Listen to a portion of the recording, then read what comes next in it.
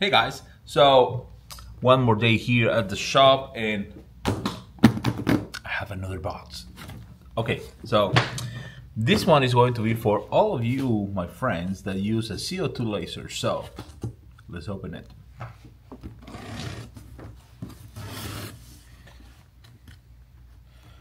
I like these awesome little knives. This is pretty cool though.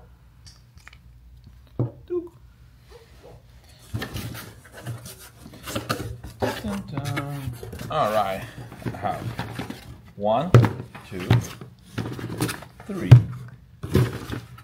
four, and five. Let's check this out.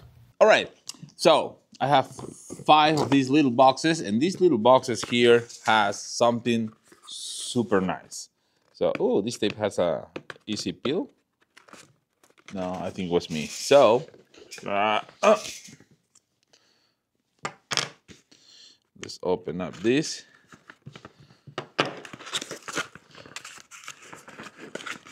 Use the bottom because let me let me spin it for you. Up. Up. Yep. We have some awesome black metal laser spray. It's a magic of laser, professional black metal laser spray. This is from Monport. So look at this thing. I mean, it's a pretty, pretty can. It's pretty full. Of course, brand new. Anyways, so I'm gonna be testing this marking spray. Uh, I've been using other brands, but I never use this one. So I'm gonna use the marking spray. And if you don't know what marking spray does, uh, normally on CO2 lasers, you can't mark on metals unless you use marking spray. So what this does, you clean the surface, you spray really even. I want to read the instructions really quick and I'll give you a quick heads up of what you should do, what you should do not. um, but as every spray, please do it on a ventilated spray. Not here, I'll do it outside. But you spray the surface of the metal that you want to engrave on your CO2 laser.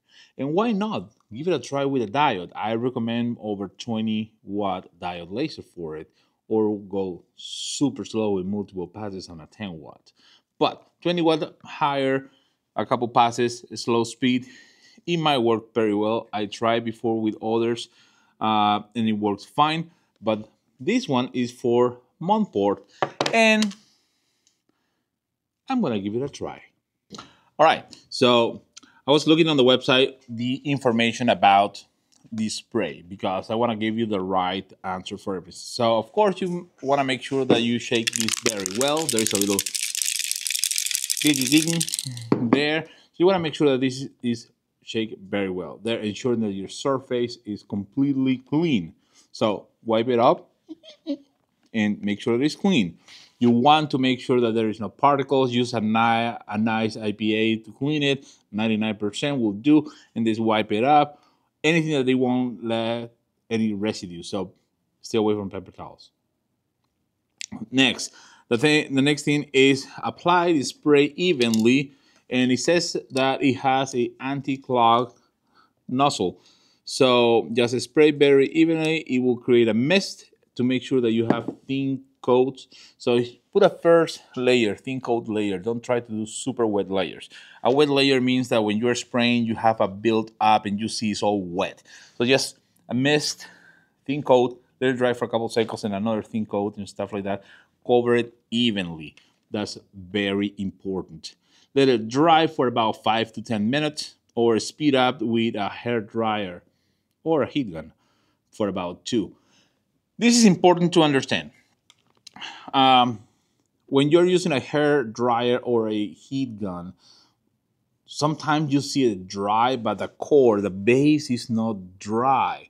So that can be a little bit tricky. I recommend to make sure, number one, that you are not in a very humid space. Number two, if you are using the heat gun and you see it already kind of a dry on the top, don't go and put it on your laser. Let it sit for a couple seconds and see if that gets wet again that means that the bottom or the base of that paint was not dry. So that's very important. Uh, number two, begin laser marking immediately after dry. So this is apparently they want you to do this quick. You don't want this to be something that is sitting there for a couple of days before you engrave.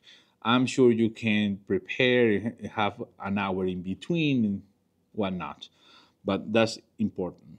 Rinse after engraving, rinse all the excess spray or wipe with a damp cloth. So I personally, I'm the kind of person that just put it under water or really sprinkle water with spray or something and, and wipe it off. So that's the instructions. Now, it doesn't say what is the minimum power that you are going to be using. Now, one of the things that I found on the website say this spray works with glass or just metal. This spray can be applied not only to glass but also to metal using a CO2 engraved directly into the glass surface so it will not be necessary to spray this spray on the glass. So, I mean, a CO2 laser can engrave directly onto glass surface. That's what they said here. I see a lot of people engraving glass with a marking uh, tape on it, that orange tape they put do the engraving so the laser interact. So I guess it can work. Now, will this work on glass? Say this spray can work on glass as well. So you need a spray to make it work on glass, evidently will work based on the website. Uh, the can is about 14 ounces. Yeah, it is for 14 ounces. So I'm gonna get some of these going and see you in a minute. All right, so I did paint a dog tag because I mean it's a nice stainless steel, very nice and shiny. So it's probably one of the hardest one to do on the CO2 in my opinion. So look at this. It's like super even. I mean the the code is pretty decent. So let's go to the laser and see how this goes. Uh, I'll probably put just a name or something here and see how it goes. So let's check this out. All right, so I have the Reno 45 Pro going. I have my little dog tag here. That's what I want to use right now. And I'm gonna start my air because I don't know why this is going to be burning. So I'm gonna close it here. I'm gonna open it here. Here we go.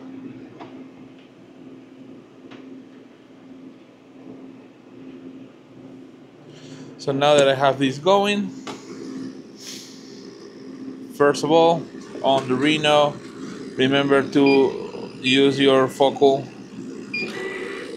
little gauge. So it has this plunge here, like a little plunger, like a little stick that you put down for focal distance. So I'm gonna put it down so you can see there.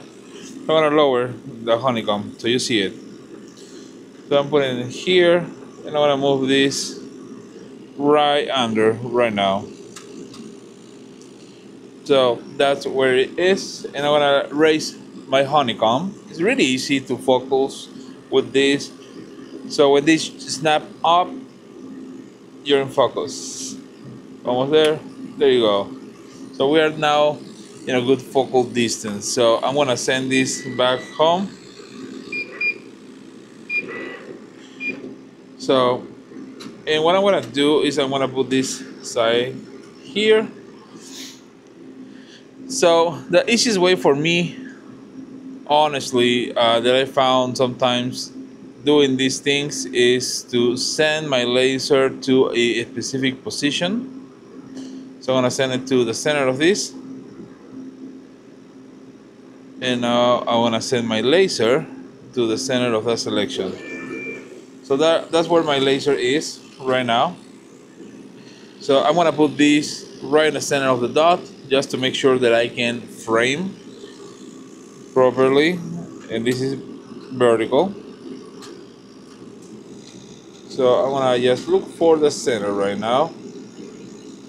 Or at least close enough for me. So that looks pretty good And this is a test. This is not a job. I'm not gonna jig the whole thing. Just wanna make sure that it's in place. So now I'm gonna hit frame.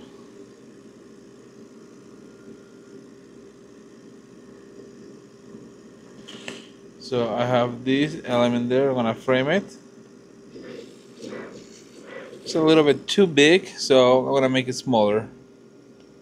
Now I'm gonna frame it again.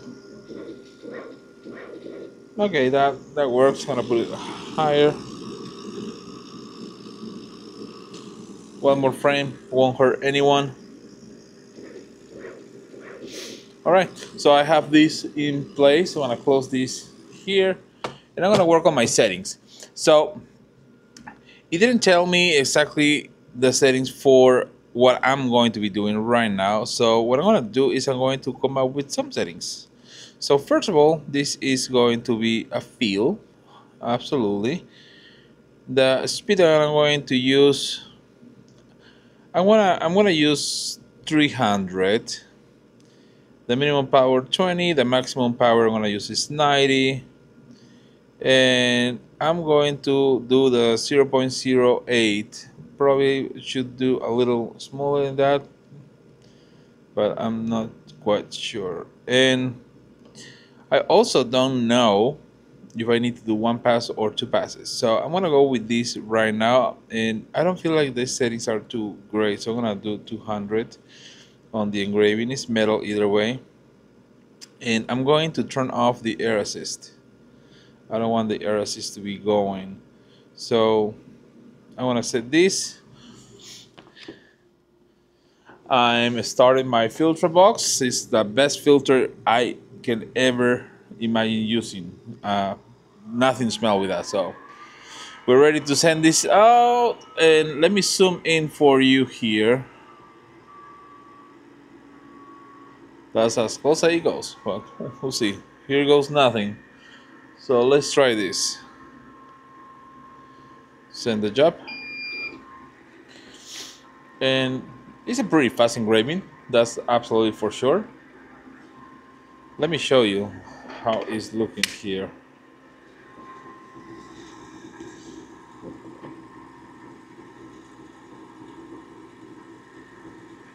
This little camera, I wanna show something else.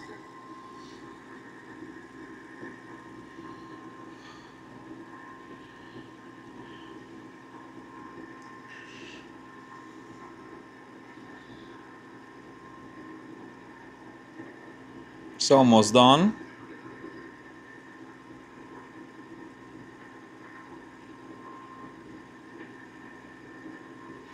It's not perfectly straight, but again, is a test. So this is done. Let's take that out. Um, I'm in a zoom, so let's change the. Whoop. All right, so this is how it's coming out with the marking spray. Temperature wise it's not hot so that's a good thing. So it feels like this something it, feel, it feels a little bit rougher than the white that's for sure. So we're gonna go and wash this and see how it comes out. So be right back. Right so I just lasered that. It was super quick. Uh, definitely for the size and what I put on this one is just absolutely. I'm not using the phone. I'm not using nothing. So it's just the name. So please copyright. No one sue me. It's just a test. I'm not selling these things. But I'm gonna say one thing. I'm highly impressed. So I'm passing the nails and everything. Look at this thing. I used other marking sprays before, uh, and this one is by far the one that leaves me the better results on the surface. So this is great. It looks amazing. It looks really, really good, and it took absolutely no time. Of course, it's a little bit finicky to frame these small things, especially because I have the back and it was stuck on the honeycomb.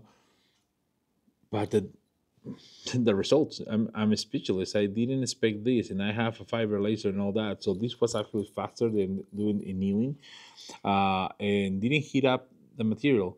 Now to wash, I was so blown away by it. I literally opened the sink, not even warm water, just opened the sink and put it in, and automatically everything disappeared. Like all the white stuff or grayish stuff that the spray has all the residue, even on the corners. I was looking for the corners on this little thingy. Everything just vanished. Like as soon as you touch water, wash off. So I'm gonna be doing a lot of tests with this, but I want to put the description uh, in the description below. I'm gonna be putting a code so you can get it for. I think it's like a 50% off or something crazy. They're doing a huge sale right now in these guys. So this is Monport Black Metal Laser Spray magic of laser. I gotta say, it's like magic. Uh, look at this guy. I mean, that's that's a perfect result. And he's not leaving anything on the nails, and I'm scratching it, so works great. So that's an awesome job from Monport with this product. I use a couple other ones. I have good results also with other ones, but this is the first one that when I pass my finger on it, I don't feel it's so rough. It's rougher than definitely the metal, but it feels like just a little bit rougher. It's not like a grainy. So it's working great. Go ahead, guys. Get one, two, three. I have five uh, cans of this guy. They're super, super affordable right now. It's probably the most affordable marking spray you can get and you're not going to regret it because if you have a CO2 laser with this, you can just get the piece of metal, spray it, and make a sign, and that will sell very well. You will change your life. I can promise you that. I'll try it on glass and I'll let you know. But as always, guys, thank you for watching. Sign up for the updates. Give us a thumbs up. Subscribe share the love leave us a comment below where you want to see this working and fire the laser.